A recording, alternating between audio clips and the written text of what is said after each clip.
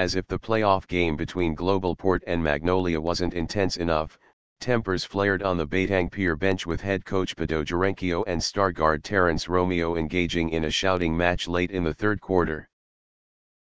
Jarencio and Romeo got into a heated commotion during a timeout with exactly three minutes left before players and coaches quickly stepped in to control the situation. After the game, the two immediately put the incident aside.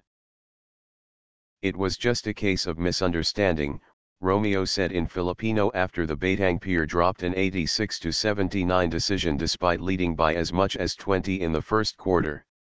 Coach and I, we both just want to win. We just had a bit of misunderstanding but off the court, we don't have any problems. It's a normal thing, it's normal for players and coaches. Both of us just want to win.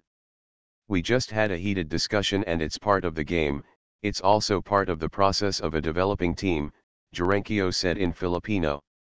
There's no issue, no issue within the team.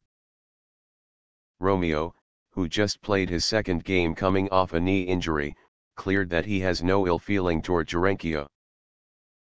I'm don't have any resentment toward coach. We all know that he's been coaching for a long time and he knows what he's doing, he said.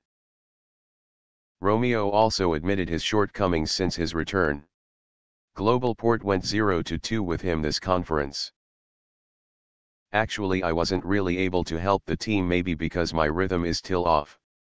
At the same time, I'm still trying to get used to playing because it's been a long time since I played 5, on, 5, he said.